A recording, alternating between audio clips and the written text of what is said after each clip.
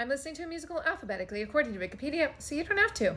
Next up, Frankenstein. This show is a musical adaptation of the Mary Shelley novel of the same name. In 2001, a demo DVD was released to promote the show, and it was a pro shot. I curse the day that I was born. It premiered off Broadway in 2007. The cast featured Hunter Foster and Christiane Noll.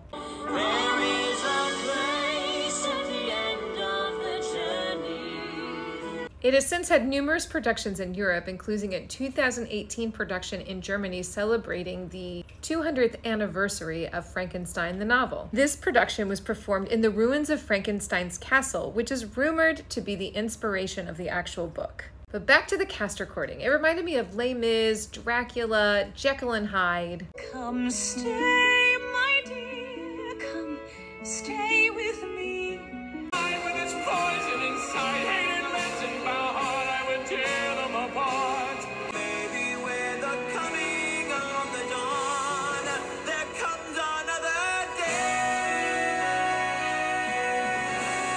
actually enjoyed it, and I'm interested to see this one on stage. Maybe I'll have to watch that pro shot. Frankenstein gets 7 out of 10 points.